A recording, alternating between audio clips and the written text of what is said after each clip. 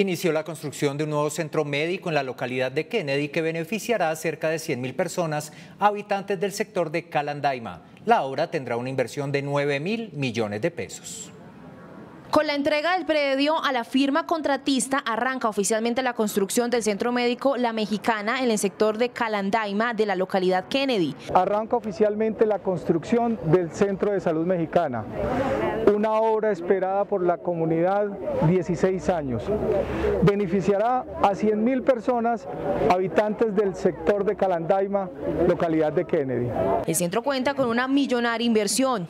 Este moderno centro contará con una área de construida de 2.287 metros cuadrados, para un total de 5.000 metros cuadrados. Costará casi 9 mil millones de pesos y tendremos 12 meses para la puesta en funcionamiento y entrega a la comunidad. Residentes del sector manifiestan que llevaban años esperando el inicio de la construcción de este nuevo recurso de salud. Era ya hora de que se hiciera algo bueno por el barrio, eh, una emergencia, cualquier cosa me parece perfecto. Pues porque no tienen que desplazar, desplazarse a un sector lejos, sino la vamos a tener acá cerca. Y pues hay muchas personas que lo necesitan porque no están afiliados de pronto a una EPS.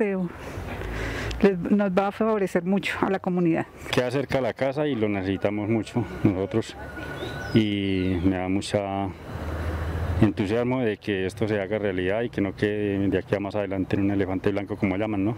A esta obra que hace parte de la Surred Sur se suman las construcciones de los centros de salud Tintal, Villa Javier y la de la Torre de Urgencias del Hospital de Kennedy.